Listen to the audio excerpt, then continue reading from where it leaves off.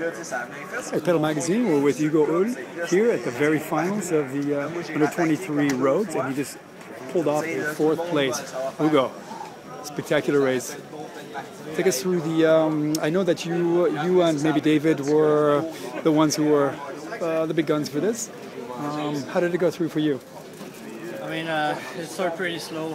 Three guys went away, and it was hard just to stay well placed, and he had a lot of crash. So me, David, and that one just tried to stay like well pushed and don't be involved with in the crash. So it was bad. David get involved in the crash, so we are only two to the end, and uh, I think the race really started with four or five laps to go. And when I see that, I just say, "Let's go, you go! You have to be in the front, and that's where, where you need to be." And just stay there, and uh, more the lap goes, the better I was feeling. So I just keep keep in the front, and I have to say, relax, relax, keep relax, keep relax, so don't get too uh, excited. So I try to do it. I mean, you will have. I try to be in the front, so this is what I did. Lap was going down, so I see oh, maybe I gotta make it. I'm gonna make it. So I went to the last lap, and I just turned the hill first, and just say. give everything you can to get to the top in the first group, and it's, it's what, what happened. And there, I just again say, relax, relax, and guys take good pulls to get back from on the other guys. And with 500 meters to go, I was behind, uh, behind the belt with guys. And at 200 meters, I said, oh, I go.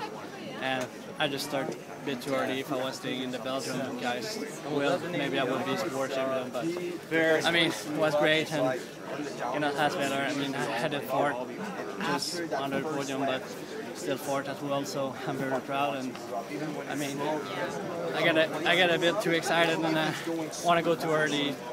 But yeah, I think that's what it is, and uh, Yeah, yeah. just happy to be there, healthy, and still on my bike today, and was able to make it fourth. So It was it was really exciting when you were uh, up against with the Austrian. Uh, he was pulling you up, and you guys were neck and neck. And then he uh, he let off a little bit, and you also decided to keep your resources for the, the last 500.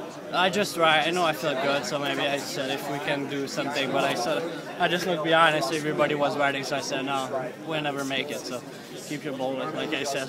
I was feeling good, so I was like, uh, like I know that I need to keep it to the end. So I don't want to get too excited about it, but yeah, I think except maybe start a bit might been a bit later.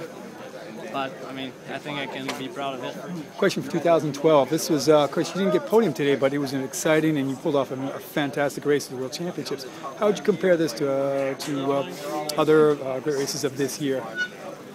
I mean, I have a great year, I think, and uh, since like I, I had a big progression this year, I think I have to say thank you to Spidertech to put me in big race and uh, just believe in me, you know. So thank you to the team, and uh, that's why I was able to do that today.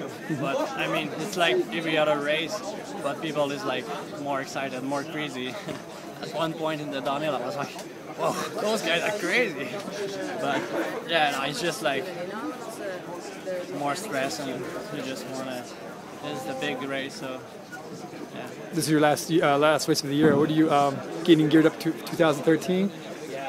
Yeah, that was my last year, and uh, I think I'm ready to do the step in the big leagues, and uh, see what I can do next year. But uh, yeah, I think I'm good. Looking forward to seeing you then. Thank you. Thank you.